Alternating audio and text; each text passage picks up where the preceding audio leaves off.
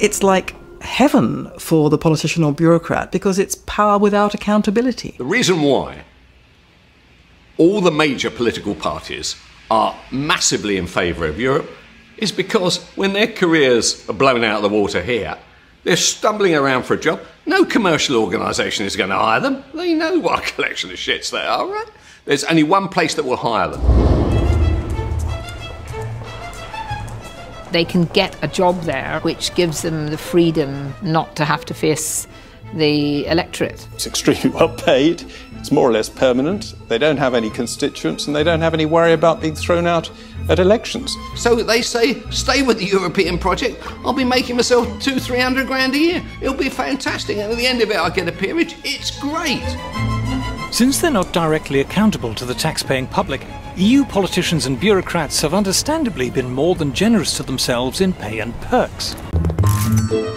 If you're an EU official, there's the relocation allowance, the household allowance, the family allowance, the entertainment allowance, the private healthcare allowance, the private education for your kids allowance. The healthcare allowance includes free Viagra. You would have thought that would come under entertainment.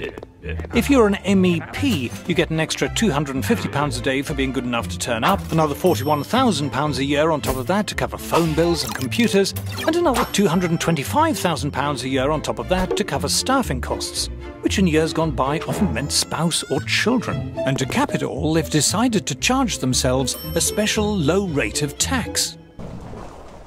This is the shopping centre. But this is all for politicians and bureaucrats. It's not for members of the public. No. So you get your own hair salon and your nail bar. Get your nails done. Your nails done. There's a sauna, there's a massage parlour as Yeah. well. Why would they not want to stay here, living a life of luxury? There are a number of people here who are paid more than the British Prime Minister. Ah, you might say, but how many? Four, ten, a hundred? Ten thousand. European Union is very good at purchasing the loyalty of powerful and articulate interests in all the member states. When we hear great public institutions, quangos, museums, and campaign groups waxing lyrical about the EU, we have to remember the EU gives them vast amounts of our money.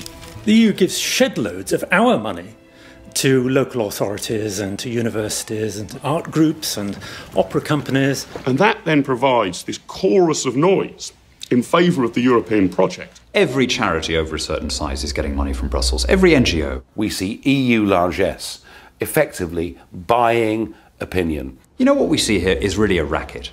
It's become a, a very good way of taking money from the general population and handing it to people who are lucky enough to be working for the system. Would it help if you knew who they were? Because you don't have any power over them, so what's the point? In the EU, there's a thing called a parliament, but it's not a parliament as we know it. In the EU, the parliament isn't in charge. Have you ever known anyone know who their MEP is? Nobody does.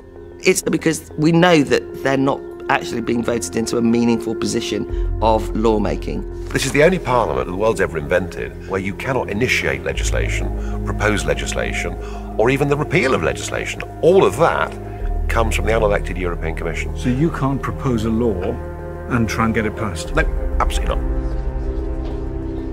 Parliamentary democracy, once every five years, you can throw everything out of the window and start again. With this, once something is European law, there is nothing through a democratic process the voter can do to change it. The people whom we elect to go to Brussels have almost no power at all. They do what they're told. Got even less power than the House of Lords, for goodness sake. Our votes for these people are pointless. They are fundamentally pointless. The European Parliament is an irrelevance. The European Union bureaucratic structures, who are appointed, not elected, have all the real power. Thank you.